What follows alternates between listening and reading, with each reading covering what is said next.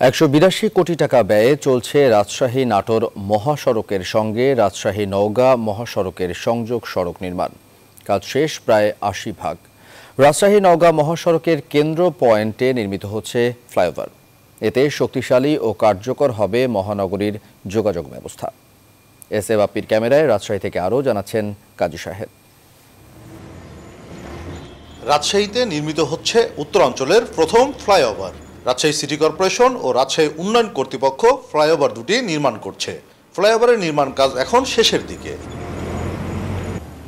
সাত কিলোমিটার দীর্ঘ ও ষাট ফুট প্রস্থের চার লেনের সংযোগ সড়কটির কার্পেটিং ছাড়া প্রায় সব কাজ শেষ। সড়কে থাকবে ফুটপাত সড়কবাতি ট্রাফিক কাঠামো ও রোড মার্কিং সহ ডিভাইডার। এজন্য উচ্ছেদ অভিযানও চলছে। এই উচ্ছেদ অভিযানে মহানগরীর ভিতর যে ফোর লেনের রাস্তা আগামী দুই মাসের মধ্যে কার্যক্রম শুরু হবে। সেজন্য আমাদের রাস্তার যে অবৈধ স্থাপনাগুলো আছে সেগুলো সরিয়ে নেওয়ার প্রয়োজন ছিল। স্যার অল ওভার সব কাজে আমাদের শেষ হয়ে গেছে।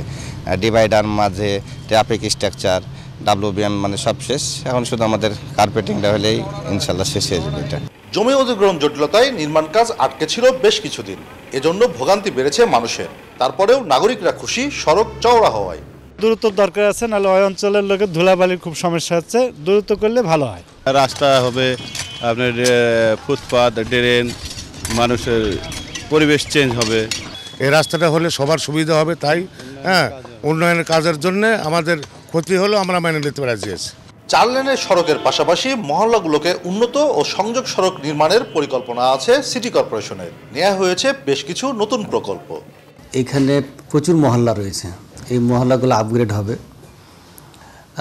এবং এর সাথে যে কানেক্টিং যে রাস্তাগুলো আছে, সেইখানে এই রাস্তার যোগাযোগ ব্যবস্থাটা উন্নত হবে।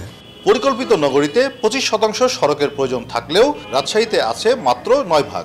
সে কারণে আগামী পঞ্চাশ বছরের পরিকল্পনায় নির্মিত হচ্ছে সংযোগ সড়ক। Kazi Shahed, news twenty Rajshahi.